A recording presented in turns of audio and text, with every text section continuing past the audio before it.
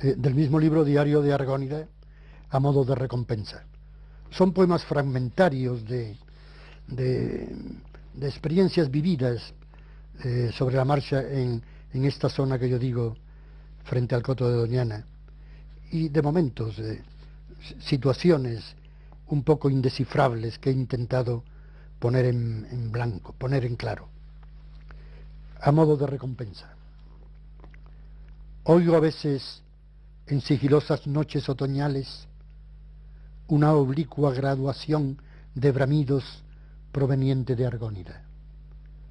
Es como un rastro agreste de hermosura y pavor, como una súbita concentración de alimañas que bullen en sus madrigueras y surcan cada día los áureos aposentos litorales. No sé a qué confidencias remiten esas voces, pero juntas atañen a mi vida. Llegan hasta el vértice neto de los sueños y allí transmiten sus informaciones a quien procede del insomnio y sabe que siempre y sin remedio oirá hablar a la noche en medio de la noche.